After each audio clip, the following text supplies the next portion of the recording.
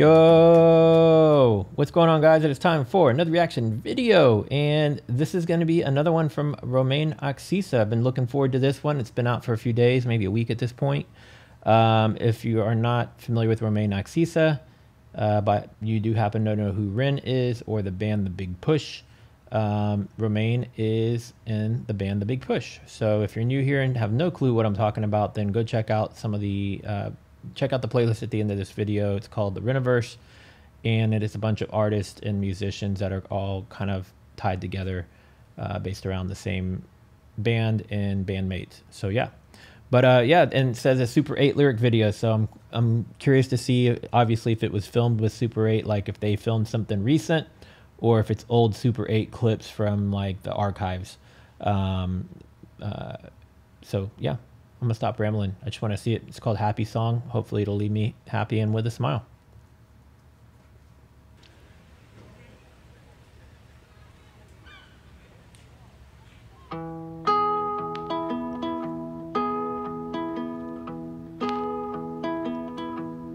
Who's right or wrong?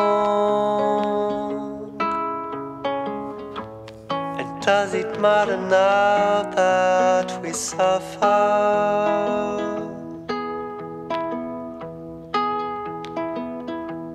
I'll write a happy song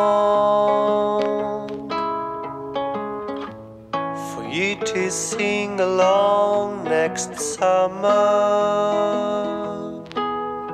I'm way out of my mind. Things are grey most of the time.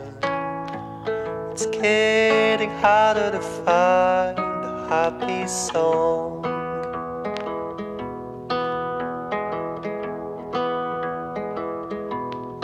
Is it better now?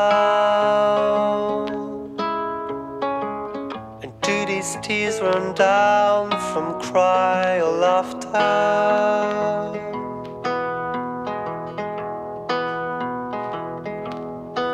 Could have stayed the night and be a better man the morning after.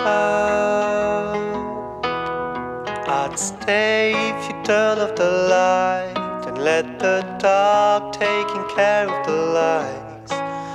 We're scared, but it's easy to ride when the night is young. You said we've already tried, this burning flame has already died. It felt like a thousand knives in my broken lungs. And I'm way out of my mind, can't think straight most of the time. Pretend that my body is proud my heart is strong. I'll wait till you open the blinds pick up our clothes that fell on the sides. One day this will be a line in a happy song. Wasn't expecting a happy song to be a sad song, but I still liked it. Um, I like that it was done on a Super 8. Uh, I think it's cool when people use some of the old format um, video and um, photo, uh, like photography. Uh, um, everything doesn't always have to be this ultra high resolution stuff that we're we're used to. Um, I like the grain in the film. I like the older the older look. Um, the model or the actress in it was really pretty. I liked uh, the, the, I liked how he leveraged or utilized her throughout the song to I guess be the person who was singing to. Um, but makes me wonder if that's who he was actually singing to, or if that was just somebody that was a character in in the video.